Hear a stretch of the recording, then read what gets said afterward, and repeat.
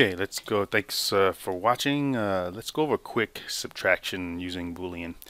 And I'm going to go ahead and take a box, create it in the front view. And then let's go ahead and let's do a G here. Let's, let's do a tube, cylinder, sorry. And we'll do something like this. Right, and then I'll just take W, I mean uh, hit W for our quick key of course. And I'm going to use of course all my views to make sure I am inside the object here. Oops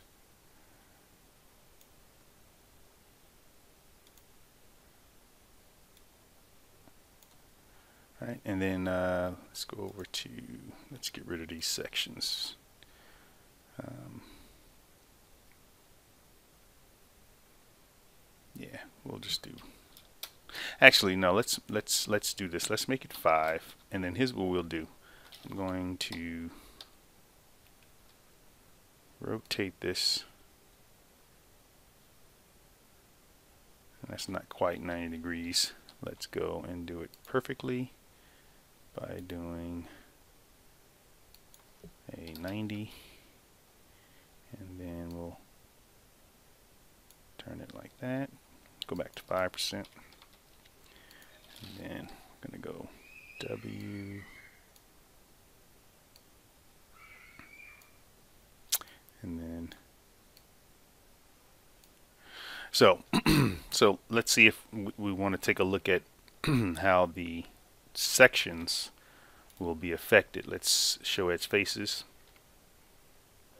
Since we have some sections here, uh, let's see how it's affected. So, anyway, let's select the box.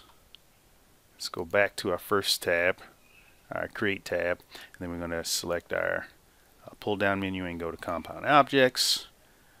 And we're going to go to Boolean. And then what we're going to do is we're going to do a subtract. Select the subtract and actually, doo -doo -doo we want to perform an operation that is going to subtract the tube from the box. Let's do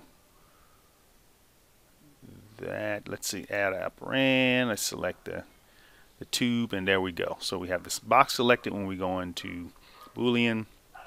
And then here we have our final project product here. And uh, actually could be a half pipe. Uh, or something. But anyway there is our object or our product from doing a simple subtract. Thanks for watching